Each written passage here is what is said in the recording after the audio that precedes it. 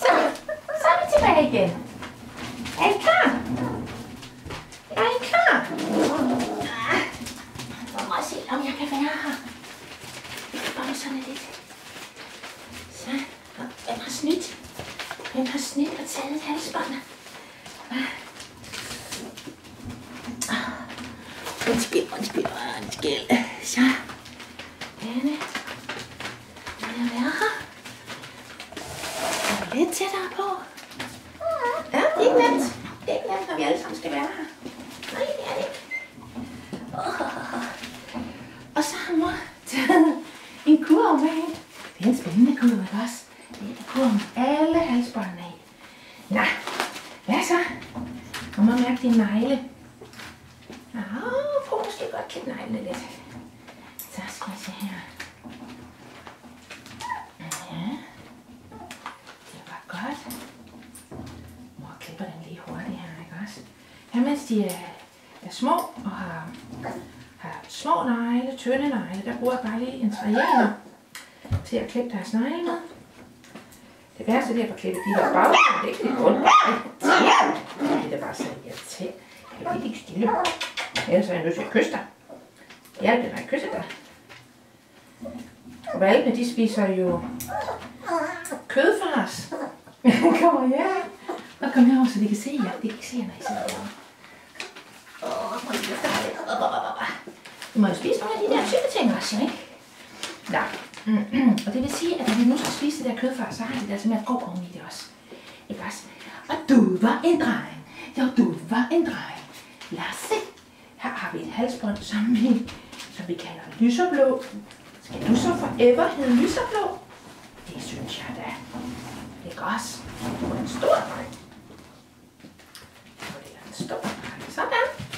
Det var lyserblå. Det var lyserblå, ja. Hvem har vi her? Der har vi også en dreng. Ja.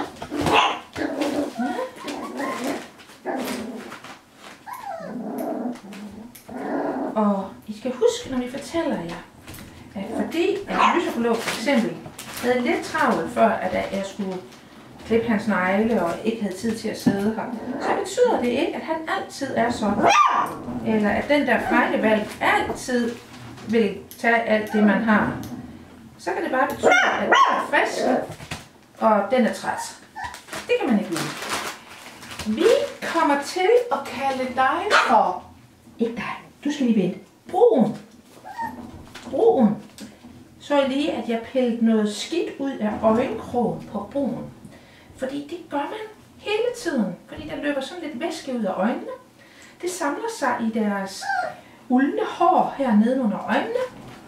Hernede i øjenkrogen. Og så skal man altså hver dag sådan lige med sin negle fjerne den der lille klat skidt et par gange om dagen. Ikke også? Det var godt, Brun. Tillykke med din nye farve. Skal du være med nu? Okay. Så tager vi dig. Så tager vi dig. I har lidt beskidte negle. Det er sådan lidt ligesom, I har været ved at grave i noget mad, måske. Kan det være rigtigt? Har I været ved at grave i noget mad? Ja, det var godt.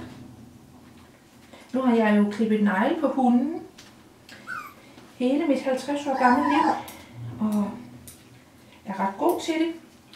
Nogle gange, både på valpe og voksen, så kommer jeg til at klippe lidt for kort. Så bløder det lidt. Det kan også gøre en lille smule ondt. Men de overlever. Ikke? Og det er ikke sådan, at de, bliver, at de bliver bange forever, bare fordi de ikke enkelt gang bliver klippet for kort. Det sker altså ikke så meget ved. Hvad er det for en lille trunde? Hvad er det for en lille trunde? Må tage skidtet ud af øjenkrogen, hvis I har lidt derinde. Og det har jeg næsten altid. Ja. Nå.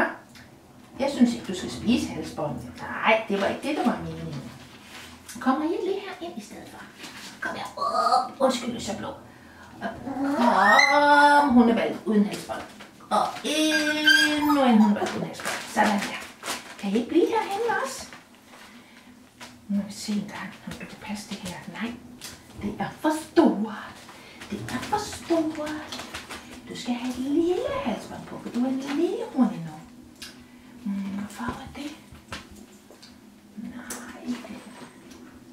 Sådan en, en rød med med en stribe udenom, så du kommer til at hedde rød. Skal vi se, om den er få den over hovedet? Jo, det gik lige. Sådan der. Det var godt. Skal vi tage dig? Var du klar? Nej, det var en stor pige. Det var en lille pige. Sidder der og kigger på mig. Kan jeg det? Sidder der og kigger på mig. Ja. Det var godt. Ja. Jeg er god til det. Ja.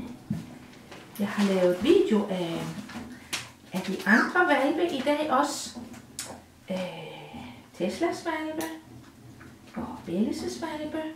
Og så vil jeg gerne have, at alle valpekøbere, også dem, der skal købe de her mejsevalpe, at de lige går ind og ser videoerne inde med Tesla og Bellis, fordi jeg siger nogle ting på videoerne omkring opdragelse, omkring præging, omkring hundepsykologi, som, øh, som I helt sikkert ville synes var, var brugbart.